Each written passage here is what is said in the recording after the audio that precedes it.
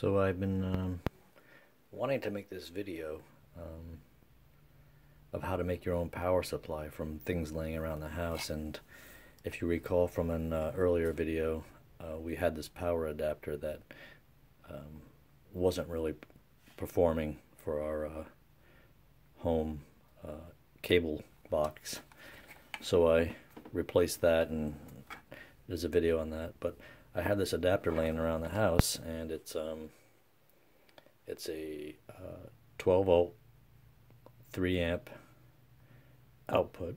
um, of course, 120 volt AC input, and um, I've got a, a, a whole bunch of items that I've been working on, like the Keurig coffee maker and so on, that have uh, pump motors and water pump and air pump motors and they all work on 12 volts, 24, volt, 24 volts, and there's a whole bunch of things that you might work around on your house. You might ask yourself, well, how do I, how do I, uh, short of buying a DC power supply uh, for however many bucks, um, what can I do? So I figured I would use, uh, I would cut the connector off of here, and I found these in my toolbox. I don't even know what they were from, but they look like uh, test probes, and uh, there's a black one and a red one, and I have a whole bag of them. I don't know where they came from, but they have little set screws in them.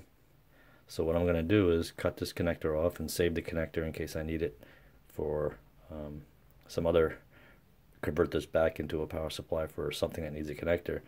But I can cut this uh, wire and put on these probes, and I can uh, use it for uh, testing 12 volt uh, operated powered items. So let me uh, let me let me make this up, and I'll be right back. So I tested it, and the the wire with the markings on it is the plus lead, which I've used the red sleeving for. And as you can see, this will slide right on, and um, I can use these set screws to hold it in place these aren't the best, but you get the idea. You can don't even need these things on here. I'm just kind of using them because I found them, but and I have a nice 12 volt power supply, and you can check stuff out. And this slides right over. Again, I just happen to have these connectors, and voila, 12 volt power supply. Let's uh, let's dial it in. Set to DC. flip it on over here on my power strip. And uh, you know what, I'll just take these out, it might be easier. Plug these in.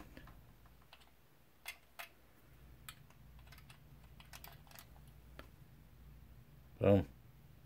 12 volts. Oh, whoops, I had the common the wrong side. There you go. 12 volt power supply made from a AC to DC power adapter. You can find these anywhere around the house. Old telephones, old computers, 12 volts, 24 volts, 6 volts. You can make a whole kit of them and use them for testing things.